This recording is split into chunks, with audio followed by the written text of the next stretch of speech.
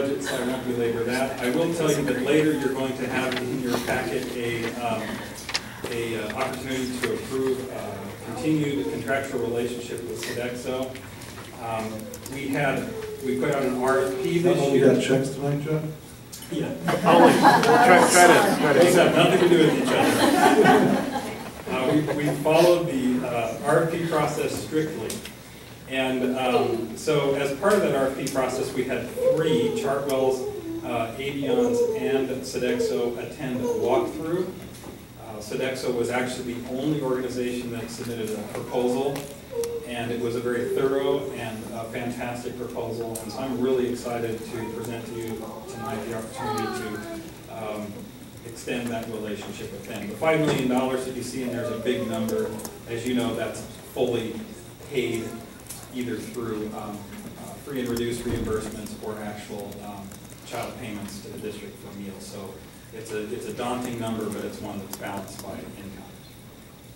I have a question about uh, tonight's agenda. This is probably a good time to take it Okay? on. Um, I noticed we received a memo that you have had some uh, decisions made by the insurance committee that included some uh, changes in the amount that would be um, paid to the uh, various employees. Plus, I noticed there is some additional benefits that are part of the package. Um, Where are we voting to approve that? Recommendations for plan changes go to the superintendent for approval. Fund balance changes go to the board, so that's actually a superintendent um, uh, decision to actually make plan changes. Uh, That's in accordance with the contract. That in, in the course of the budget that uh, includes fund changes, is that what I'm hearing? Uh, There, there's no fund balance change. So uh, there were two things that actually happened this year. So part of the amendment to this year's budget, which you voted on at the last board meeting, was to do that 60, on average, a 60-some dollar rebate back to employees for um, not savings this year, but not spending as high to the budget as we had originally anticipated. Um, Actually, next year, because all of our association employees are going from a seven percent contribution to a ten percent contribution by contract, they are scheduled, they were scheduled to go up forty-two percent in their monthly premium contribution, just from the seven to the ten. And that's actually about a thirty-three percent increase, rather than a forty-two. And that is because we were able to have some, some lower than anticipated spending on the insurance plan. Uh, The changes were both uh, additional cost and some savings, so it's about neutral. So the addition of the um, massage therapy, the addition of the um, uh, Weight Watchers program, and I'm missing the third one, Cheryl. Orthodontia. Orthodontia, which is a big one. I'm not thinking because I already paid for that years ago. Um, Our, our net cost, obviously, to this, oh, and the other one is opposite sex domestic partner coverage. And then that's offset by a change in the out-of-pocket maximums. Um, That committee had committed several years ago to staying in line with OEBB plans. Um, So we adopted all of the OEBB, uh, current OEBB plans today, including those items that I just mentioned. Um, It still puts us a year behind. OEBB is actually doubling their out-of-pocket maximums for their, the employees in OEBB next year. I think that's pretty austere, so we're not, we're not looking at that. But this puts us uh, in uh, uh, the opportunity to remain stable and affordable on our medical plan. But it is in the budget, I mean, we budgeted for the, the adopted budget, or the, if you looked at the proposed budget and then the approved budget by committee, and then there were some changes, remember, in red ink on that one roll forward page. Um, you have a budget with me? I do. that are mentioned on page uh, 10.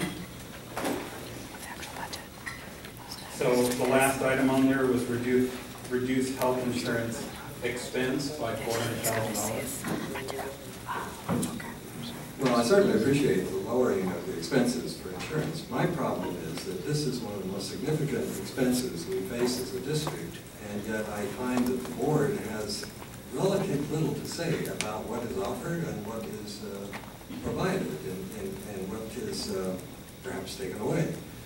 And um, I, I, I have expressed my frustration on this in the past. I, I personally believe there ought to be a liaison on the, on the insurance committee, on the board, and I think that that which comes before the, that the committee has uh, determined needs to go beyond the superintendent's passage. Now, this is something for future negotiation, I recognize this isn't going to be my bailiwick, but I just want to put it out there that this is such an extraordinary expense that it's, um, well, it's, it's the richest uh, insurance plan in the state, no question about it. Not true. And uh, it's a very nice plan, I have no problem with us getting that, I think it's great for our employees and it's great for our community.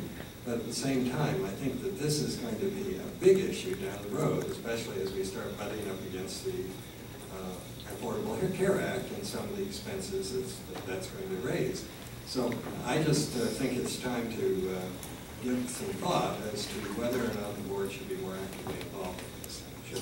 No, your point's well, Ron, it is about twelve percent of our annual budget, that's very significant, and, and uh, we don't take that lightly. Affordable Care Act actually is what's driving us to make plan changes. If we don't make plan changes, we will hit the Cadillac, uh, uh, plan, uh, tax, and then that'll end up costing us more. So that was part of the reason to make, uh, continued plan changes. And also, we have to be within a certain percentage of OEBB, right? Uh, In order to avoid being forced into OEBB? Well, we, for years, we had to be at least um, two percent better uh, cost-wise relative to OEBB. The legislation in the last um, legislative session removed that comparison requirement. The district can ask to have that comparison done um, if they wish to. Um, We are constantly doing that comparison. I mean, at the point where it would be less expensive for us to go into OEBB relative to the self-funding that we currently have, we would bring that up in the insurance committee and discuss it. Uh, It's currently more favorable to, for us to stay self-funded. I think that our costs are probably running just a small percentage under OEBB, over the two, but, but um, under. But our plan is much, much better than what you can get in OEBB. So do you have any kind of estimate, I'm sure it's in the budget, when you added uh, opposite sex domestic partners? Do you think we're gonna have more come on, less come on?